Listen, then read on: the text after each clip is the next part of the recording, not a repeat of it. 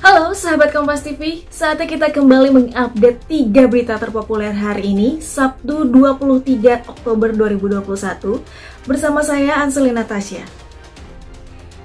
Sahabat Kompas TV di berita pertama diduga perkosa anak tahanan, itu IDGN Majelis Hakim Persidangan Etik Profesi mengeluarkan rekomendasi pemberhentian tidak dengan hormat. Sementara kasus terkait pidana umum masih dalam penyelidikan Direktorat Reserse dan Kriminal Umum Polda Sulawesi Tengah. Mantan Kapolsek Parigi Ibtu IDGN menjalani sidang kode etik atas dugaan melakukan perbuatan asusila anak tahanan di Polsek Parigi. Perempuan berinisial S diduga diperkosa Ibtu IDGN Korban dibujuk dan dirayu lewat aplikasi percakapan untuk melayani dengan iming-iming ayahnya bisa keluar dari penjara karena terlibat kasus pencurian hewan. Hasil keputusan majelis hakim dalam sidang etik profesi tersebut disampaikan langsung oleh Kapolda Sulawesi Tengah. Hasilnya Ibtu IDGN direkomendasi diberhentikan atau dipecat secara tidak terhormat. Namun Ibtu IDGN akan mengajukan banding atas putusan ini. Putusannya adalah merekomendasikan itu IGDN ya, untuk PTDH pemberhentian dengan tidak hormat dari kepolisian. Saya ulangi, rekomendasinya adalah PTDH. Di berita kedua, PDIP angkat bicara terkait capres yang akan diusung partainya. Hasto pun mengatakan Megawati kontemplasi, mohon petunjuk Tuhan soal penerus Jokowi. Banyaknya nama capres 2024 yang mulai bermunculan termasuk Ganjar Pranowo hingga Prabowo Subianto. Menurut Sekjen PDIP Hasto Kristianto, khusus kader PDIP semuanya menunggu arahan dari Ketua Umum PDIP Megawati Soekarno Putri. Megawati memiliki banyak pertimbangan sebelum memberikan dukungan terhadap calon presiden. PDIP fokus pada proses kaderisasi dan akan menjadikan hasil survei hanya referensi dalam menentukan dukungan pada Pilpres 2024. Eh, siapa yang akan menjadi presiden yang akan datang?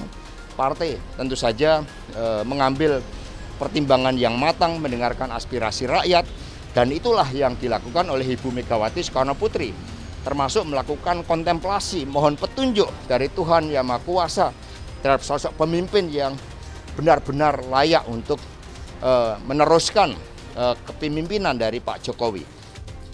Sahabat Kompas TV di berita terakhir, Partai Golkar gelar puncak hari ulang tahun ke-57 mengusung tema bersatu untuk menang. Pada kesempatan ini Jokowi berpesan partai politik harus hadir di tengah masyarakat. Partai Golkar menggelar acara puncak peringatan hari ulang tahun ke-57 di kantor DPP Golkar Slipi, Jakarta. Serangkaian acara meriahkan malam puncak hingga semangat optimisme meraih kemenangan untuk Pilpres 2024 yang disampaikan Ketum Golkar Airlangga Hartanto. Presiden Jokowi yang turut hadir secara virtual menyampaikan selamat kepada Partai Golkar. Presiden menilai Golkar sebagai partai yang besar, kehadirannya dapat dirasakan masyarakat Indonesia apalagi di tengah pandemi COVID-19. Presiden optimis Partai Golkar yang tumbuh kuat menjulang tinggi bagai pohon beringin dapat selalu memberikan keteduhan untuk masyarakat Indonesia. Pandemi COVID-19 telah mengajarkan banyak kepada kita. Pentingnya respon cepat, respon yang cepat, yang bisa menjangkau dan melindungi masyarakat di seluruh pelosok tanpa terkecuali. Pandemi juga sebuah ujian ketangguhan sistem dan kelembagaan di negara kita, baik kelembagaan pemerintahan, kelembagaan ekonomi maupun kelembagaan politik. Karena di saat pandemi ini kita menghadapi dua krisis global dalam waktu bersamaan, krisis kesehatan dan krisis ekonomi. Serial krisis yang tidak ada presidennya dalam sejarah, yang untuk mengatasinya diperlukan tindakan-tindakan yang luar biasa, tindakan yang ekstraordinary. Dalam kondisi seperti ini, lembaga eksekutif ditantang dan diuji. Lembaga legislatif dan yudikatif juga diuji. Semua diuji. Apakah bisa menghadapi situasi ini dengan baik?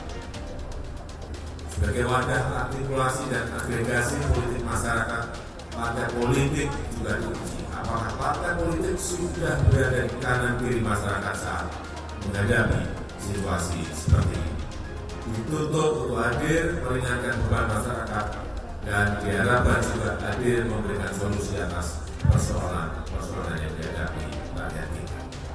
Saya yakin dengan semangat belajar dari pandemi, Partai Golkar juga belajar apa yang kurang yang harus diperbaiki, apa yang lemah yang harus diperkuat agar Partai Golkar bisa terus berkarya untuk kepentingan rakyat. Semoga Allah Subhanahu wa taala senantiasa memberikan rahmat, berkah dan ridhonya bagi bangsa kita, bagi kita semua. Terima kasih. Wassalamualaikum warahmatullahi wabarakatuh. Nah, sahabat Kompas TV, itu dia tadi tiga berita terpopuler yang terjadi pada hari ini. Kalau begitu saya pamit undur diri dulu, tapi jangan lupa untuk di like, share, komen, dan subscribe channel YouTube Kompas TV. Terima kasih, sampai berjumpa di topik besok.